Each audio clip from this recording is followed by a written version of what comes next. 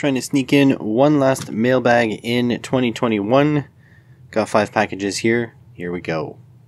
First one off, we have this big one here. This one ordered December 16th, arrived December 18th, $32.76. And the reason for that is because this is from Amazon. So, oh, I guess I should have just done that. So, Amazon is uh, great because I do get a little bit of affiliate money from you guys buying stuff off my links. Uh, unfortunately, the um, affiliate money usually comes the day after I needed something, so that's what happened here.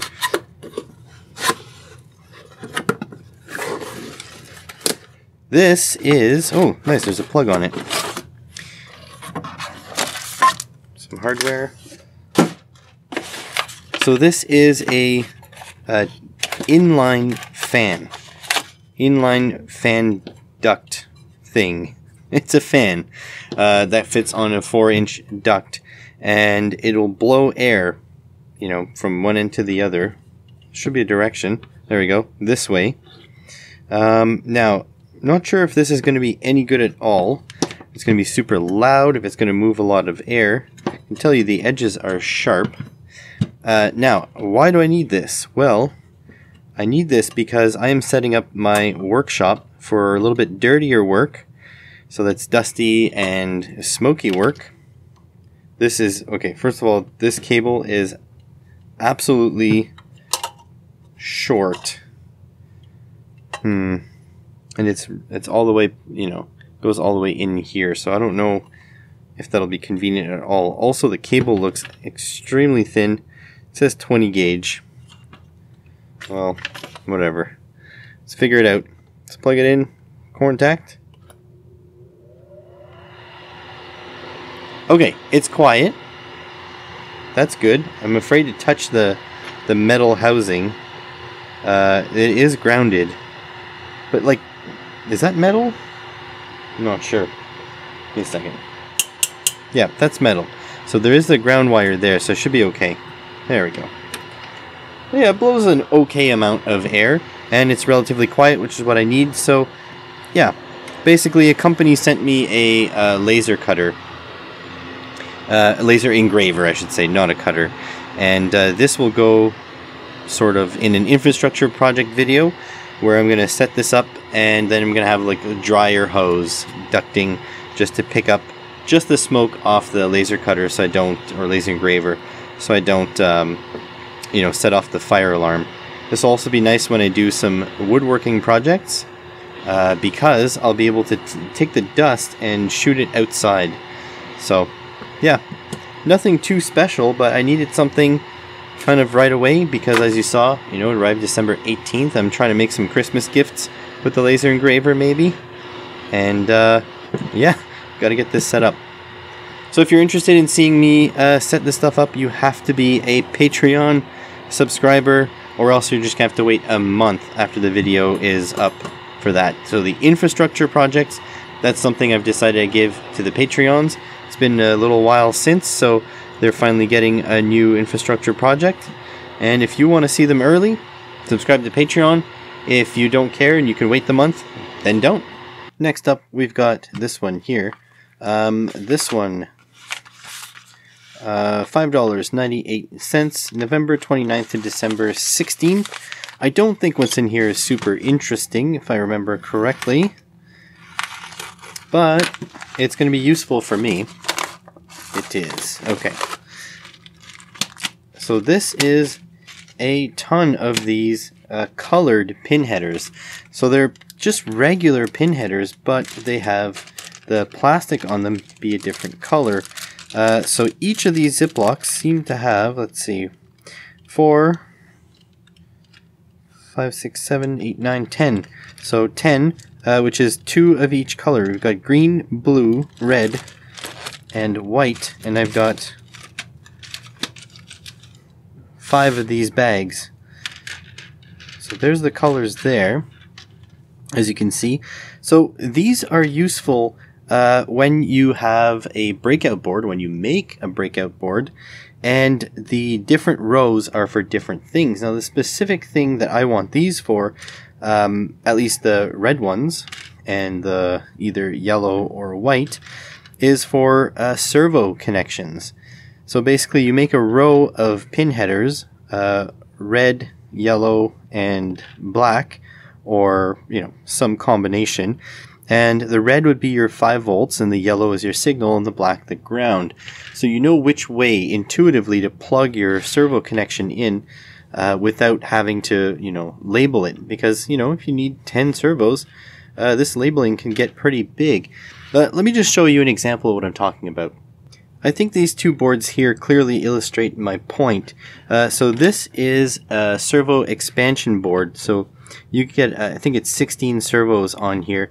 Um, so all the servos will have a common power, which is that red pin header line, a common ground, which is all that black one, and then each their individual signals, which is the uh, yellow. So it's obvious at a glance which way to plug your servo in. Same thing here with this uh, CNC shield that goes on Arduino Uno. And as you can see, the positive side of the signal is in white and the negative is in black. So there's really no doubting which one is which. Even on top of that, the um, X, Y, Z axis, they have these yellow female pin headers, and the A axis, the, the additional one, it has these red pin headers. So it's just more obvious which way to plug things without having to, you know, read text. Anytime you can simplify a process like that, I say go for it. So that's why I got these pieces here. Next one up is this one here. Um, $2.91, November 29th ordered, December 16th arrived. Uh, I'm not sure. Oh, yeah, I do know what's in here now, now that I just felt the package.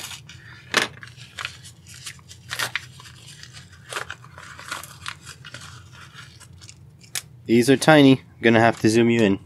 So these are 2N2907 PNP transistors, but they are in SOT 23. So the tiny little package. It's always good to have these in stock, to have the uh, different footprints in stock. Let's see if I can even open this.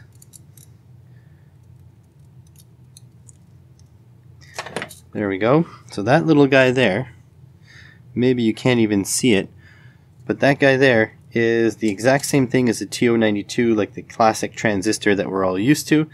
Does the exact same job, but it is tiny, you know, like bit a bit bigger than a pepper flake, but not by much.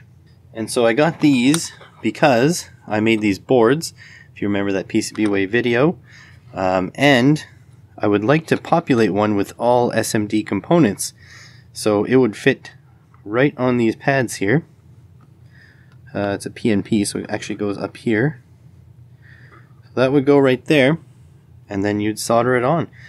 Um, and I am also a little bit, uh, you know, got in my mind that I want to remake this board, but only for surface mount parts. So I'm going to play with this board around and, you know, a little bit and make the make the the the uh, software for it. And once I've got good software, I'm going to shrink this board down. I want it like the size of you know my fingernail. I'm going to try to V-score a whole bunch of them. But uh, that'll be another day. But for now, this guy's going to join my collection of SMD uh, transistors. There's its brother, the NPN version 3904. It's going to reside right there. On to the next one. For the penultimate item, this one here, uh, this is $6, like exactly 6.00 Canadian dollars, November 29th, December 16th.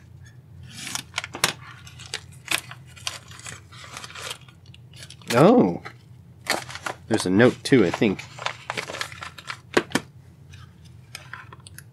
There's a QR code. So, what these things are, uh, are these are for 3D printer heated beds. Um, they clip like a piece of glass or whatever. Ooh, they're nice and stiff. They clip a piece of glass uh, to your heated bed, so you don't have to use the binder clips, which um, your head could easily smash into. Um, let me go get a prop and see. So let's just say that this uh, shiny surface here, this is actually a heated bed, like so. Um, let's just say that this is your surface and this matte piece here, uh, let's say that's your glass. Now, if you put binder clips, they kind of like stick up and over. But these guys, I don't want to really scratch the, the bottom side here, but oops, I got two in this.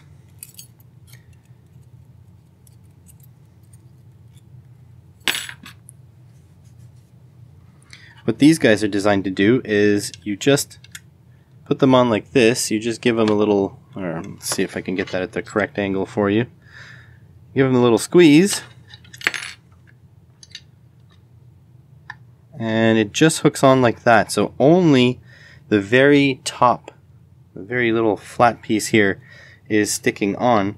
And that will hold your uh, glass top in place. You, you know, you put you would put four, one in each corner, or uh, more if you want.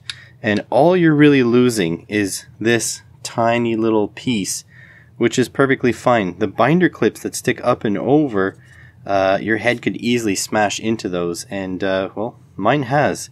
That's why I found these and I bought some. So I'm going to install them at some point. I'll let you know how they go, but very inexpensive. I think I got 10 here for um, $6. So basically, you know, if you had a relatively small bed, you could have two and then two beds fully held down and then two spares. So yeah, I think it's worthwhile. And last but not least, there is this one. This one has been sent in for review by banggood.com. I requested this uh, on my ongoing attempt to make my videos better. This is a tiny oscilloscope uh, in fact, I'm not sure how tiny it really is, but should be pretty small. Hopefully, I could just have it here on the bench and explain concepts without doing any screen capture on my computer. This is by um, Miniware DS213.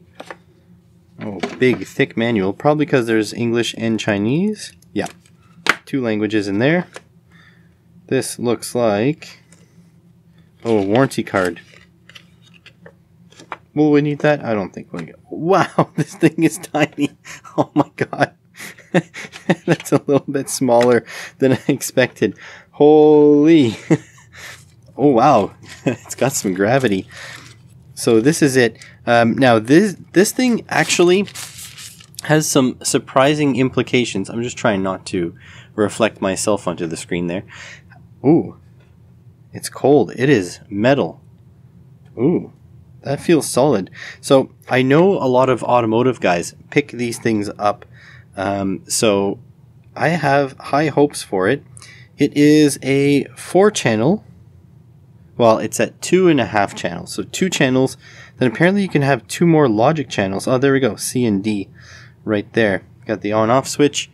Please let this not be a uh, low brightness, um, you know, OLED type thing. Uh, brightness is pretty low. Okay, well, I'll have to adjust stuff so that you can see too. I guess before that, I should probably show you the accessories. Uh, so first of all, like every Miniware product, everything is very neatly packed. Like their pack job is fantastic. These are little uh, oscilloscope probes quite flexible, which I really like. But they do have these, you know, tiny connectors. What do you want, man? This thing is like, look at the size of these uh, plugs there. So that looks pretty neat. Pop this one out too. And then we have, eh, these are the uh, hook tips Okay, so that should go right on there. And there we go. Got a little, know if you can see there, a little hooky. So very standard aside from the plug. Um, and then we got the little grounds. Okay, so that's pretty nice. The only thing is, uh, this is a 2 plus 2, so two sort of analog channels and two digital channels. Uh, but there's no digital probes in here. Only the analog probes. Yep. So you only get two probes, which is kind of a shame because, I mean, there's four holes. Channel A, B, C, and D. Hmm. Not sure how I feel about that. Uh, this thing also has a, um, I believe it has a function generator built in. It does have an output there, but how are you supposed to plug your oscilloscope in? Also, hmm, let me play this with this just a little bit and I'll get back to you. So good news, um, I've only been playing with this for a couple minutes, like two, three minutes, and the controls are becoming more obvious. You use this B uh, to move around the menu, and you'll see different parts of it will be flashing, and that's what you can adjust with A. So you move the A around to change the option. I moved the um, the noise down, and I moved the, the backlight all the way up, and this is actually quite reasonable for brightness. It's uh, surprisingly bright. I didn't think it was going to go this bright. Um, the other thing is the um, function gen is kind of, you know, always on. So you can move to it with B. So there's the type, okay, and then move to it again one shot lower to, to the frequency. Uh, so if I move back to the type, you guys can see pretty well, but I'm off axis, so I'm having trouble seeing, so all I see is my, my lights. But let's see if I can stab this into here. Are we getting a signal? I'm not sure if we are. You have to stab it just in the right spot. Oh, there we go. So, just trying to see here. Now I need to change the time. Oops, the other way. I go in the wrong way. There we go. So there. Um, so that is the oscilloscope picking up its own signal. We can change this to a sine wave. Now my trigger voltage is too low. Let's see if I can roll over there. Uh, does that say volt trigger? Oh, down, down, down. There we go. So yeah, I, I can't see very well because all I see is my studio lights in the reflection here. But as you can see, it's quite serviceable. Triangle wave, oh, big difference there. Sawtooth, back to square wave. So it is working, and you know, it's not too bad.